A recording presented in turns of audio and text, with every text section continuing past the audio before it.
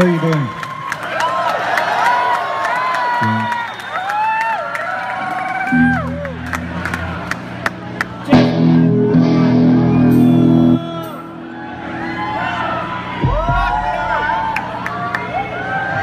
Um, just to let you know how tonight's going to sort of pan out, um, we're going to do Psycho Candy, but first we're going to do a little short set of, about um, some Candy Talking wasn't on Psychocandy, not, not the original release, so we're going to do it in this little set here, so here goes.